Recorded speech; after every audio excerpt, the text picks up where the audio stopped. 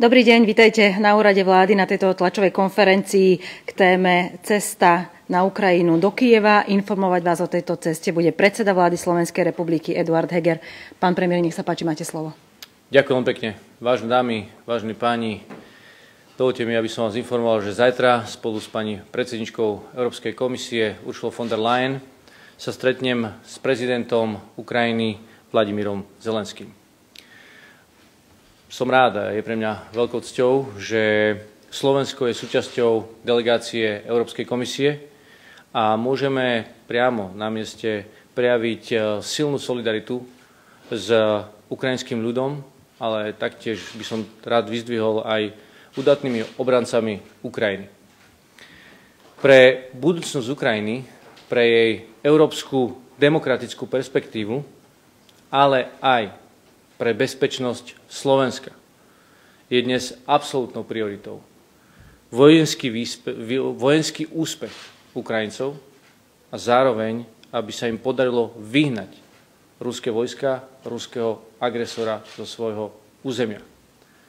Hovorím to preto, lebo už dlhšie sa to snažím zdôrazniť a myslím, že to nezaznieva dostatočne zreteľne, že pre Slovensko je kľúčové, aby mal stabilných a prosperujúcich susedov.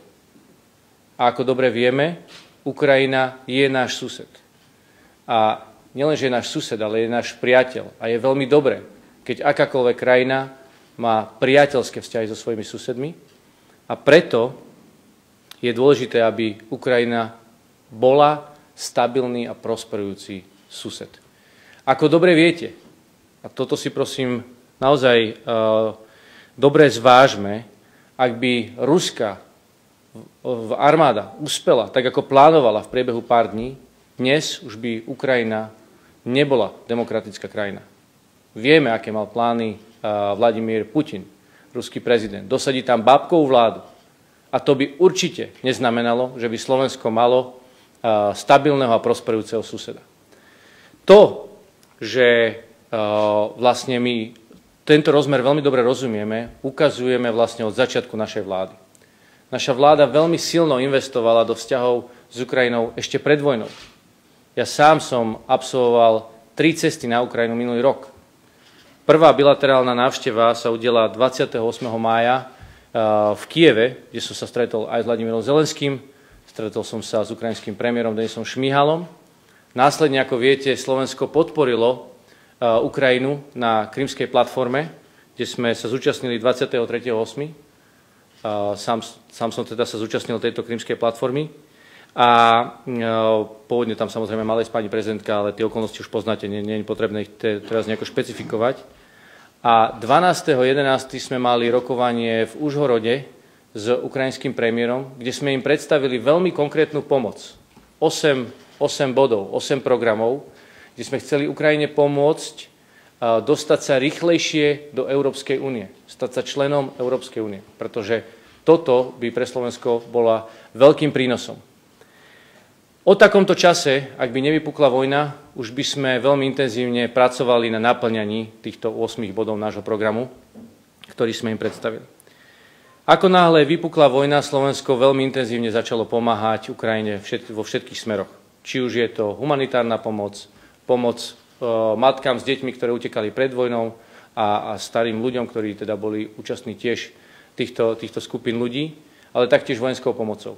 Pre nás je dôležité samozrejme v tomto pokračovať a teda budeme v tom pokračovať a som rád, že máme v tomto veľkú jednotu v rámci koalície, ale ako ste mohli vidieť aj jednotlivými uzneseniami a rozhodnutiami, je tam silná podpora aj v parlamente. My sme e, preto aj vo Versailles na samite e, predstavili, na neformálnom samite, veľmi konkrétne opatrenia, akým Ukrajine chceme pomôcť práve v tom povojnovom, a veríme, že tá vojna rýchlo skončí a že zvíťazí Ukrajina, práve v tom povojnovom období. A stalo to na dvoch pilieroch, ktoré som už tiež komunikoval a chcem ich tu zopakovať. A jedno bolo, že e, sa vytvorí povojnový fond na rekonštrukciu krajiny. A druhé bolo, že vytvoríme e, reformný tím, ktorý veľmi intenzívne bude asistovať Ukrajine vo všetkých reformách, ktoré sú potrebné na to, aby čo najrychlejšie vedela splniť kritéria a takto, môžeme povedať, že zrýchlenie stať sa členom Európskej únie. Toto sme predstavili vo Versailles a o pár týždňov na to, na samite v Bruseli, ako viete, sa podarilo aj tieto priority zapracovať do záverov. My tento program máme kon konkrétne nachystaný a je to, je to niečo, čo by sme chceli predstaviť a čo by som aj ja chcel predstaviť konkrétne prezidentovi Vladimirovi Zelenskému. Ten veľmi dôležitý rozmer, ako som povedal, je, aby Ukrajinci, ale aj ženy Ukrajinky, ktoré dnes bojujú, vôbec celá Ukrajina, cítila veľmi silnú podporu od kohokoľvek e, z západnej Európy z ich pohľadu. Pretože dnes Ukrajinci bojujú aj za našu slobodu. Bojujú aj za nás. A nielen za kohokoľvek v Európe, ale o to viac za nás, občanov Slovenskej republiky, keďže sme ich priamy sused. Tak ako som v úvode povedal, vieme si dobre predstaviť, ako by vyzerala situácia, ak by Ukrajina padla za obeď ruskej armáde. A to si predstaviť nechceme. Takže dnes veľmi intenzívne bojujú za nás. A myslím si, že z tohto je úplne zjavné a každému jasné, prečo je pre nás úplnou prioritou podporovať Ukrajinu. A pre nich je úplne kľúčové cítiť túto podporu pretože s úplne inou atmosférou potom bojujú, keď vedia, že sú v tom není sami, keď v tom majú podporu a nielen súčasnú, ale aj budúcu podporu svojich priateľov eh, v západnej Európe. A to sa týka aj nás, Slovenska. A musím povedať, že Vladimír Zelenský to vyjadruje vo svojich, eh, vo svojich eh, prejavoch, vyjadril to aj v Bruseli, kde si veľmi váži podporu aj Slovenska a cíti to ako silnú podporu, ktorá im pomáha vlastne odrážať tento útok, agresívny útok ruskej armády a ich zatlačenie späť na ruské územie. Ďalšie, čo chcem povedať, čo bude ďalší bod našich rokovaní a kde chcem za Slovensko povedať, že Slovensko podporuje vytvorenie e, Medzinárodného tribunálu na potrestanie vojnových zločincov na Ukrajine. Preto aj ponúknem prezidentovi Zelenskému tým našich odborníkov, na vyšetrovanie vojnových zločinov ruskej armády v Buči a ďalších obciach a mestách. Budem ho taktiež informovať, že pomôžeme s dokumentovaním svedectiev od týchto zločinov samotnými Ukrajincami, ktorí utiekli pred vojnou na Slovensko. Taktiež chceme e, pomôcť s vývozom ukrajinskej pšenice vlakmi cez e, územie Slovenskej republiky, pretože dnes sú prístavy, cez ktoré táto pšenica štandardne odchádzala do sveta, blokované. A práve touto pomocou vieme výrazne zmierniť tlak, celosvetový tlak na ceny potravín. Taktiež chcem e, pána prezidenta informovať o logistickom hube v Košiciach, ktorý sme aj vám predstavili e, pred pár týždňami, ktorý je tu k dispozícii pre všetky krajiny Európskej únie, ale taktiež pre e, tretie strany, čiže aj ďalšie krajiny a cez ktoré môžeme a do, aj vyvážame veľké množstvo humanitárnej pomoci e, na Ukrajinu. A to posledné, čo je veľmi dôležité, je e, vlastne, že Slovensko prináša a naďalej bude prinášať atmosféru žičlivosti aj medzi ostatných partnerov Európskej únie. A som rád, že v tomto naozaj cítim aj podporu pani predsedničky e, Európskej komisie. Na záver mi dovolte zopakovať a vyvrátiť tú myšlienku, ktorú tu sa snažia niektorí pretláčať, že naša pomoc Ukrajine ide na úkor nášho obyvateľstva. Nie je to pravda. Pravý opak je pravdou. Pomocou Ukrajine pomáhame nám, pomáhame sebe, pomáhame občanom Slovenskej republiky. Je to významná strategická investícia. Áno, tomuto populisti nikdy nebudú rozumieť. Populisti hľadajú užitok v každej chvíli a v najradšej v tej prítomnej. Ale my sme vláda rozvahy, my sme vláda, ktorá chce Slovensko postaviť na nohy, ktorá chce urobiť zo Slovenska modernú a úspešnú krajinu a preto rozumieme tomu, aké je dôležité mať stabilných a prosperujúcich susedov okolo seba. Verím, že tomuto naozaj každý občan Slovenskej republiky rozumie a preto rozumie, prečo je dôležité Ukrajine pomáhať. A už len na záver poviem a vyzdvihnem práve tu ten boj Ukrajincov, ktorí bojujú za svoju slobodu, ale v skutočnosti bojujú za nás. Takže nech sa páči. Ďakujeme, keďže informácií, ktoré môžeme zverejniť ohľadom tejto cesty je naozaj málo, tak vás poprosím teraz o maximálne 4 otázky. Nech sa páči RTVS. Jakub Rog, RTVS. Pán premiér, môžem sa opýtať, mnoho ľudí sa môže zdať, mnoho ľuďom, že je to iba vaša snaha si možno napraviť renome potom, ako ste nevyužili šancu ísť e, so, so svojimi českými, polskými, slovenskými kolegami. E, či okrem tohto ešte nejaký hmatateľný výsledok prinesiete? Či, či nám môžete vysvetliť, alebo prečo to tak nie je, prečo to nie je iba PR cesta? No hlavne to nebude okrem tohto, pretože tam nejdem teraz si napravať nejaké renomé, a, ale to, čo som, o čom bola celá tlačová beseda, vlastne som predstavil viacero bodov, a prečo Slovensko vlastne ide na túto cestu, prečo tam idem ja, aby som to predstavil Vladimirovi Zelenskému a ukázal mu, akým spôsobom chceme byť nápomocní, a pretože myslím si, že to je úplne kľúčové. Práve to, čo som povedal. Môžem to zopakovať, ale myslím si, že to máte náhrad. Televízia Markiza. Serebrieko Markiza, dve otázky. Najprv taká tá ľudská. Či ste sa nejako špeciálne pripravovali na tú cestu tak ľudský, prípadne či ste niekedy už išli na pracovnú cestu v neprestrelnej veste? Nie, nešiel som na pracovnú cestu v neprestrelnej veste čo je práve ten paradox tejto doby. A je smutné, že žiaľ aj v 21. storočí, kde sme si mysleli, že to bude storočie mieru, kde už nebudeme musieť zažívať e, vojnu a už vonkoncom nie túto u našich susedov, sa takéto, sme sa takéto chvíle dožili. Takže a nejak som sa špeciálne nepripravoval. A tá druhá otázka, čo sa týka vojenskej pomoci, dlhodobo sa hovorí o S-300, o MIGoch. Minister obrany nedávno hovoril, že možno aj hufnice pošleme. Či výsledkom týchto rokovaní možno bude aj nejaká dohoda, alebo respektíve prezentácie nejakej vojenskej techniky, ktorú by sme ešte mohli poskytnúť?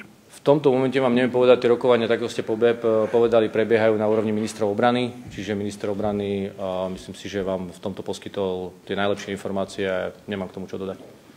Televízia Teatry. Viktoria Nemetová, teatri, tiež taká ľudská otázka, či máte napríklad strach alebo rešpekt pred touto cestou, aké sú vaše pocity? Nie, strach nemám a ja som aj hovoril aj vtedy, viete, uh, myslím si, že práve to, čo som aj vyjadril v tých slovách, ktoré som tu hovoril, a ja to myslím naozaj úprimne. To sú, to sú slova, ktoré myslím z, z, od srdca a, ja si veľmi vážim to, čo uh, Ukrajinci robia, že, že dali ten odpor, že sa postavili a ukázali, že im stojí za to bojovať za slobodu. Stále počúvame, alebo často počúvame o tom ostať bokom. Mňa tieto slova naozaj nerozumiem, ako môže niekto takto bezcitne niečo takéto povedať, keď prichádza k zabíjaniu, brutálnemu zabíjaniu aj civilistov. Hlavne, však to vidíme, tú, brutalitu, ktorá, ktorú predvádzajú ruskí vojaci na území Ukrajiny.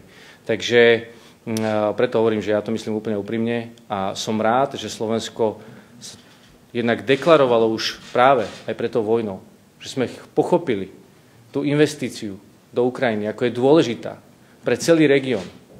A teraz sa to len potvrdzuje, o to viac. To, čo my sme vlastne ako prví rozvíjali s Ukrajincami, lebo zoberte si, aké, akú e, spoluprácu rozvíjali ostatné krajiny s Ukrajinou pred vojnou. V tomto sme naozaj boli, boli na prvom mieste, lebo sme videli práve ten potenciál. Ten potenciál sa ešte viacej odhalil práve žiaľ kvôli tomuto konfliktu. A, a som rád, že môžem prezentovať konkrétne návrhy, konkrétne programy, ktorá, ktoré pomôžu výrazne, e, výrazne Ukrajine a som rád, že získavajú podporu aj v, medzi členskými štátmi Európskej únie. Televízia Joj. Ja by som mal niekoľko otázok, ak dovolíte, pán premiér. Ešte by som sa chcel spýtať k tej ceste. To bola pozvánka od pani Uršuly von Leyen, alebo ako ste vlastne sa k tomu dostali, že idete tam v tejto spoločnosti?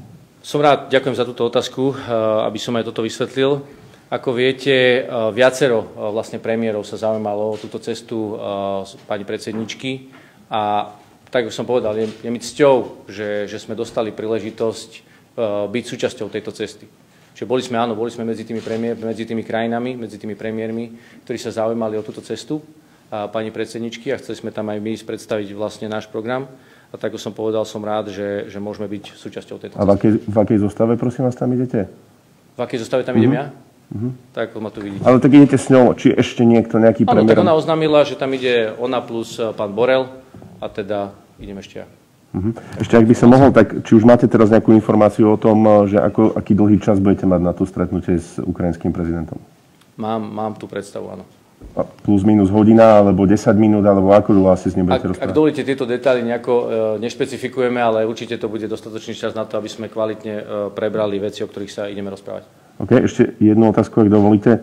Uh, Mňa by zaujímalo, spomenuli ste, že chceme ponúknuť odborníkov, ktorí by dokázali vyšetrovať, uh, povedzme, tieto vojnové zločiny. Čiže keby ste mohli byť konkrétnejší, akých odborníkov Slovensko vie ponúknuť Ukrajine na vyšetrovanie týchto vojnových zločinov? Opäť, opäť sa tu ukazuje práve e, tá solidarita a srdečnosť občanov Slovenskej republiky, lebo už dnes vieme o viacerých ľudí, ktorí práve v tejto oblasti pracujú, ktorí sami, sami ponúkli vlastne svoju ochotu ísť na Ukrajinu a pomôcť. Takže to budem len o to radšej s veľkou hrdosťou na našich občanov prezentovať e, záujem týchto ľudí pomôcť práve pri vyšetrovaní týchto zločinov. Mňa by ale zaujímalo, že akí konkrétni odborníci, či sú to nejakí vyšetrovateľia, či sú to nejakí vojaci, či sú to proste, či môžete povedať, že koho konkrétneho, lebo povedali ste, že vieme ponúknuť odborníkov, tak teda sa zaujímam, že o akých odborníkov teda ide.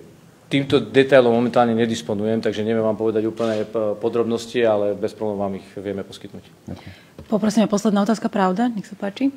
Dobrý deň, Peter Madro, Denní Pravda. Ospravedlňte túto otázku, len príde mi to pri ceste na, do vojnou zmietanej krajiny, akože že je na mieste. Ja sa chcem spýtať, že aké je riziko, že by na vašu delegáciu mohol byť nejaký útok z ruskej strany a čo by vlastne takýto útok znamenal pre túto vojnovú situáciu?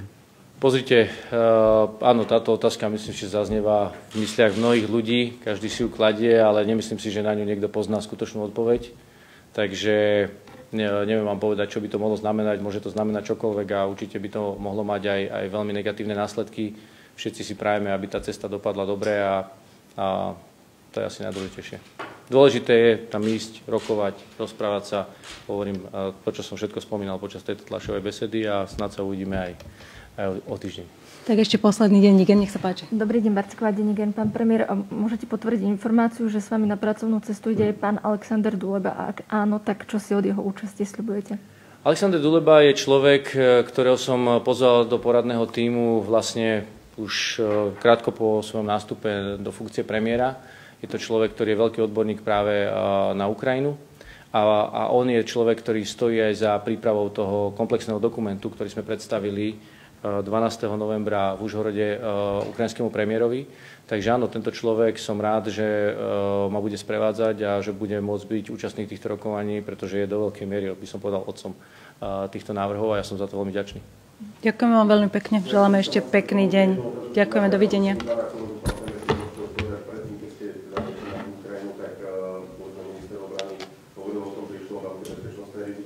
Teraz je tu bezpečnostné riziko pri tej ceste o niečo nižšie, tým, že povedzme aj tí Rusi sa stiahli z okolia Kieva. My máme veľmi kvalifikovaného ministra obrany a to, čo povie, môžete tomu veriť. Ďakujem pekne. Ďakujeme ešte raz, dovidenia.